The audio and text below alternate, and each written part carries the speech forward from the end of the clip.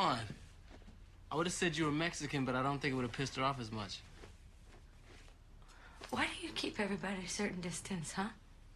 What, you start to feel something and panic? Come on, Rhea.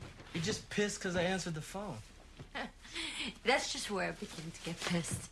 I mean, really, what kind of man speaks to his mother that way, huh? Oh, this is about my mother.